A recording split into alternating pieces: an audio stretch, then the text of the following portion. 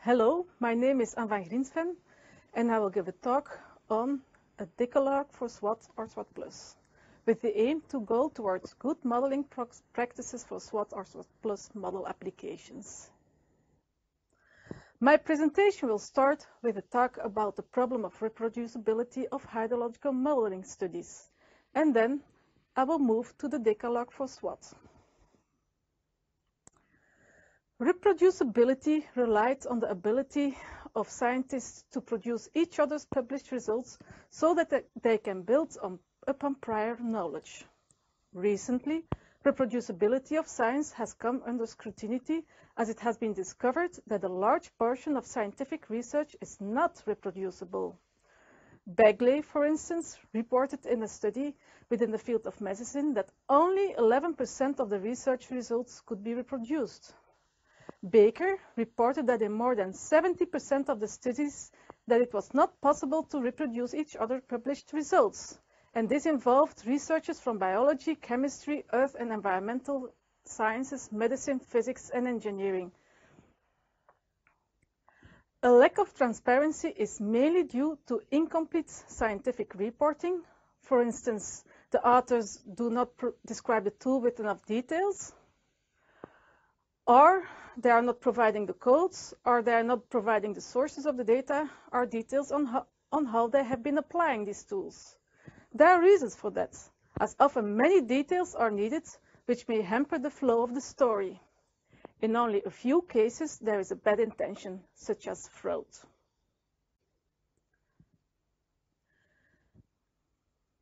In this presentation, we present a decalogue of SWAT with the aim to solve the problem of reproducibility. With decalogue, it is referred to the Ten Commandments for good life that God sent to Moses.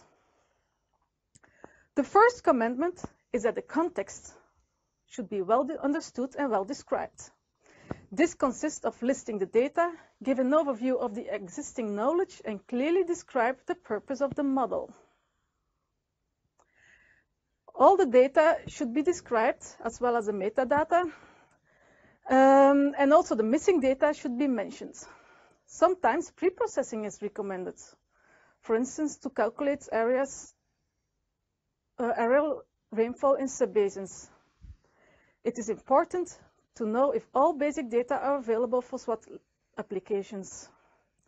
There should be a good overview of SWAT applications in the case study of the region. It is important to reflect whether SWAT is a good tool for the purpose of the study. So to summarize, it is important that you should, that we, you should report on all the sources of the data, that you should include a literature review, and that you also justify the choice of SWATs. The second commandment uh, deals with, with the fact that you should more closely look at this data and evaluate it. So, uh, are there missing data? Are the mountains and orographic effects well represented? Is there any pre-processing needed? Do we need a bias correction? Uh, because a biased rainfall will lead to imbalanced hydrological mass balances and errors in all fluxes. In this example, reanalysis data was used for catchment in Rwanda we see that the annual values are strongly biased and are not correlated to the observed annual rainfall values. On the other hand, the monthly seasonalities are correlated. So, a bias correction could lead to some useful rainfall data. So, it's important to check the data and double check. Make sure that uh, the units are okay and perform, perhaps also perform a mass balance analysis. Are there no bias corrections? Is pre-processing needed? Uh, this is all to be considered before moving to modeling. Besides the rainfall, it's also important to evaluate the GIS data. For instance, a topography map, DEM. DEM is used to delineate the catchment, but also it calculates the slopes. In this example, a resolution of one kilometer on the left is compared with 90 meter on the right. The one kilometer is not uh, able to find all the connections of the rivers and results in a smaller catchment. But also, the average hill slope is lower than when you use a low resolution topography map, which results in lower water yields and a very strong estimation, underestimation of the erosion. Hence, the following advices should be followed. The quality of the data depends on the case, very importantly on the scale. It is also very important to report quality checks, missing data, and pre-processing activities. A third comment is to understand and justify the model assumptions. Also, SWAT is built on many assumptions. Some of them are listed below. For instance, the water flows downstream. Groundwater flows in the same direction as the surface water flow. And it also has a relatively simple routing. No tidal influences, no complex networks, no backwater effects. Many processes and parameters are based on US conditions. Also, the plant growth module using the heat units is more suited for the northern hemisphere. Some of these assumptions can be overcome by the SWAT plus model version as it offers more flexibility, but it still needs the information and this information has to be brought in the model. For example, in the SWAT plus, we can divert the groundwater to other catchments. The SWAT model uses the curve number, which responds to soil properties, land use, and slopes. So, most surface water is typically generated in the headwaters where the slopes are high. But, and this is the case for the left figure, but at Cornell University, they developed a water balance method. Um, in this method, water is generated when the soil is saturated. Infiltration is then hampered, resulting in surface runoff. Since the soils are typically shallow near the river, there is less storage available. As a result, most surface water will be generated in the valleys. Both approaches are happening in reality, and often the truth might be in the middle. Both processes more, might occur. In general terms, it is important that you justify the choice, of, the choice of the SWAT plus model. In a modeling report, it is important to mention the version of SWAT and the release number. Models are and can be very useful tools, but they are only a, a, an, an approximation of the reality. That means that you should never adjust the reality to the model. If the model is not suited for your case study, you should not use it. For instance, if SWAT does not represent certain elements which are important for your case study, for instance, you want to model an area with large, where large polders exist, for instance, in the Netherlands, then maybe SWAT is not the best choice. This brings us to the fourth comment. It is related on how you set up your SWAT model and how you report on this setup. There are many decisions that a user has to do when setting up a model. This is needed to define your subbasins, as well as the landscape units, uh, as well as the HRUs. There is no general rule on how to do this. It's based on expertise and judgment of the modeler. Whatever the modeler decides, ideally this should be justified. In any case, the choices and decisions need to be reported, including the definition of land use, HRU, and landscape units. If lakes and reservoirs were implemented, it should also be reported. You should also report which evapotranspiration method and which routing method you selected. Otherwise, your work is not reproducible. Okay, after setting up your model, the next step is the calibration of the process parameters, parameters which is often a challenge for SWAT, as SWAT contains many parameters. Uh, there are many, the process of calibration is complicated and involves changing your parameters in such a way that you better match your results. For instance, if your fit is not very good, then you choose other parameters and you hope to obtain a better fit. That's the principle of calibration. This is especially needed when using SWAT outside of the U US. Through the calibration, you adjust your parameter values according to lo local conditions. It is important when you set up your calibration that you have a methodology or a strategy. It can involve manual as well as automatic techniques or a combination. Before starting the calibration, it is very important that you first check the model for potential errors. Calibrations can and should not fix errors or, or certain problems in the model setup, or potentially human errors. Don't use too many parameters in your calibration only the ones that are important or uncertain. You can use a sensitivity analysis to find out what, which parameters are important. After you have found, you found the parameter values for your parameters, it is also important to check um, whether your parameters have a physical meaning and that you always report the values of your parameters. I will go further on this physical meaning of parameters. This is related to the way you calibrate your parameters. There are three ways in SWAT. Uh, you can do it by replacement by value.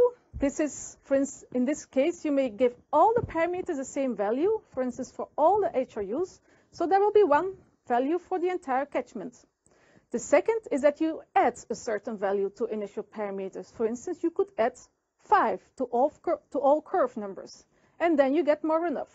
Or you can use a multiply, multiplying factor, which is then multiplied to your initial parameter value. This method is very often used in SWAT because you have many distributed parameters, and each HRU, for instance, may have a different initial value. Here we have an example. Here we are going to change the saturated hydraulic conductivity of your HRUs, um, more specifically for a case where you have two layers, soil, uh, three layers, sorry, and two soil types, soil A and soil B. You can see that soil A has higher values than soil B. That means that the hydraulic conductivity is higher there. You can also see that the top layer has higher values. So there is an initial relationship between the uh, parameters.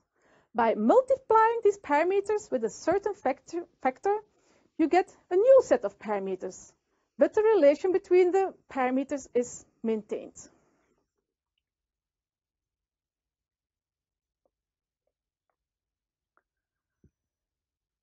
After we have set, um, we get given new parameters to the new, new values to the parameters, we can continue to check the physical meaning of the parameters. Parameters do have a physical meaning. They have an absolute value and they have, but they also have a relative relationship. You should check for this. For instance, curve numbers in grasslands should have a higher value than curve numbers in urbanized areas. Some parameters may need special attention. Here I, I list a few. For instance, if you apply the groundwater minimum threshold, you're somehow putting a threshold in your model, and you will only generate groundwater once you the groundwater storage go above this threshold. Note that you will build a certain storage in your system. Also, groundwater deep is important to consider as it represents the losses in the deep aquifer. If it's very high, it may be unrealistic, especially for large case studies. Next, hydraulic conductivity in the channel is also an important parameter. It only happens in areas where the groundwater table is lower than the riverbed. This is not often the case in temperate zones, but it might be a case in arid zones. So we should also check the physical meaning and potentially you can also look at literature. For, as an example, I mentioned the Manning coefficient. There are lots of values available in literature for this Manning coefficient, coefficient. And you could also check your value with these references. Note that the range for the Manning coefficient in SWAT is quite broad. So it's likely that you may end up with an unrealistic value through a calibration. After calibration, it is very important to do an evaluation. In hydrological modeling, this is typically done with bias and Nash-Sutcliffe efficiency. The bias is represents how much your model is either underestimating or overestimating. So ideally, it should be zero. The Nash-Sutcliffe efficiency represents the error. So it compares the mean squared error against the variance. It should be at, as close to one.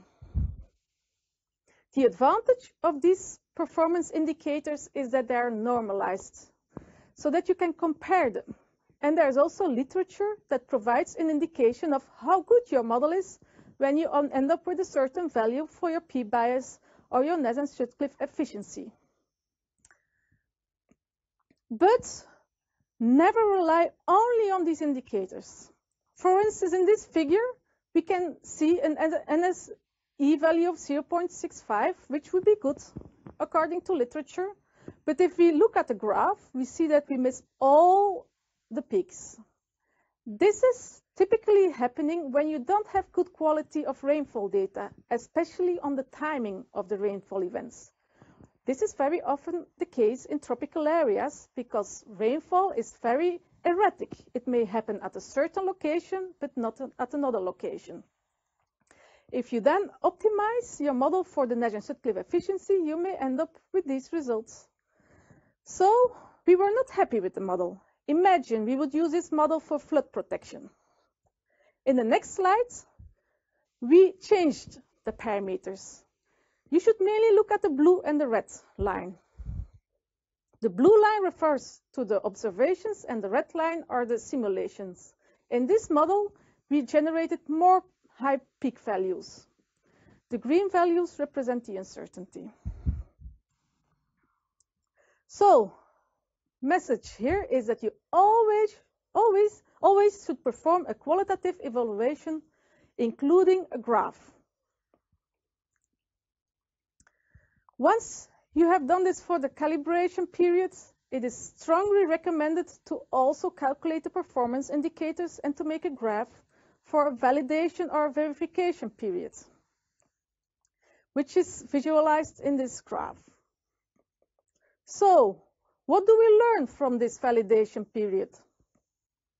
It tells us whether we had some overfitting problem. This may occur when you use too many parameters or not, you didn't use enough data. In that case, you may have a good fit for the calibration, but you may not have a good fit anymore in the validation period. It also checks whether you represented different conditions. It could be that your calibration period only represented dry years. And then if your validation period includes some wet years, you may run, run into problems. It may also indicate a trend.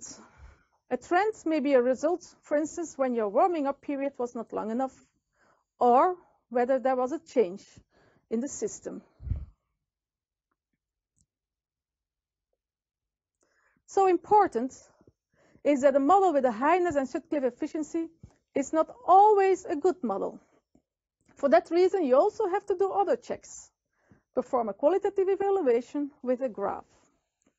And also perform a model verification using a different period, the validation period. After these checks, there should be more things to evaluate. Very important is to check the hydrological mass balance, which brings me to the seventh commandment. In this analysis, we compare the inputs versus the outputs, and they should be in balance. The inputs are everything that goes into the model, which is primarily precipitation. The outputs is what goes out. This is the water yield, which is composed by surface runoff, lateral flow, and groundwater flow. But we also have evapotranspiration, or deep losses. We may also have capillary rise, which is not going to the soil, it's a loss. Um, there is, of course, also storage. But a, when we use a long, long simulation period, we can assume that the storage is negligible. We can check the hydrological mass balance for the soil layers, but we can also do it for the shallow aquifer separately.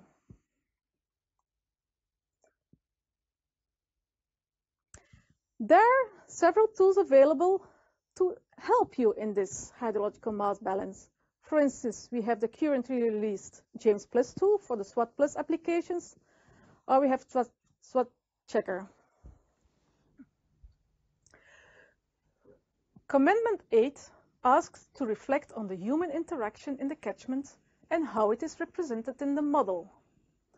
It reflects to the management operations, whether it's done automatically or whether you use manual settings. You should be aware that often there are some settings in the model, even if you didn't do anything. These are the default settings. It's important to represent what's happening in the catchment due to human interactions. For instance, reservoir operations, but also very important what is done with the agriculture management. Especially irrigation might have a big influence on your hydrology. In this slide, we see the SWAT simulations of the leaf area index on the top. Leaf area index represent the vegetation. When there's a lot of vegetation, the leaf area index is high. In the SWAT simulation, we see high vegetation during the months April to June. Below, we have the leaf area index according to remote sensing. In the remote sensing results, we see high vegetation mainly during the months June up to September. So the growing season, according to remote sensing, is later, and we assume that the remote sensing results are right. So we should adjust our SWAT model, and this is important as it influences the evapotranspiration. This we can see in the following slides. During the dry, uh, during the dry season, we see that the simulations of evapotranspiration between the original SWAT model and an adapted SWAT model that better covers the observations according to remote sensing are similar. But if we focus on the growing season, then we see that there is a big difference in the evapotranspiration when we don't represent the growing season properly. So it is very important to identify the human interactions and to judge the importance of these. Should we represent it? Sometimes it's not possible to represent every interaction, but it's important not to miss out when they are important. You can check whether you have a good agricultural representation by looking at the biomass or the crop yields. And it's also very important that you report the settings, also when you are using default settings. The ninth commandment refers to uncertainties. Good modeling practices recommend that you acknowledge these uncertainties. There are many uncertainties in the model. First of all, we use observations to evaluate and calibrate our models, but these uh, observations don't represent correctly the truth. So there's already an error in the observations. There are also errors in the inputs that we put in the model. And there, rainfall input is the main, is the most critical input. There are also uncertainties in the parameters that resulted from the calibration. But there are also uncertainties in the model descriptions itself. That results in errors around these simulations, and we should capture these errors. We can do, the, do this by performing an uncertainty analysis. The ninth commandment tells you that you should also acknowledge the uncertainties. This is a very important aspect of hydrological modeling studies. First of all, there are errors in the observations. We use these observations for the calibration and the evaluation. There are, from the beginning, errors in these observations. They are not a true value. They are an observed value. So there is already some uncertainty at this level. Next, there are uncertainties in the input data. Especially the rainfall is critical. Also, the parameters are uncertain. We obtain them through calibration, but in this process, there are many potential errors involved, and assumptions behind the whole processes. There are also uncertainties in the model formulations and potentially also on how we set up the model. All of this makes that we are not fully certain of our simulation and that there is an error. We should represent this by an uncertainty band. We can do this by performing an uncertainty analysis. The last one refers to how you use the model. If you use it to run scenarios, you should be careful not to extrapolate too far. This brings us to a summary. These are the 10 commandments for good modeling practices for SWAT. First of all, consider and describe the full context of the model. Evaluate the inputs of the model. Understand and justify the model assumptions. Choose proper setup op options when you set up the model and report them. Do and report also the model parameterization carefully. Perform a qualitative and a quantitative evaluation on your model outputs. So also make a fit. Check the hydrological mass balance, whether in and out is more or less in balance. Check the land use and the management practices and other op operations.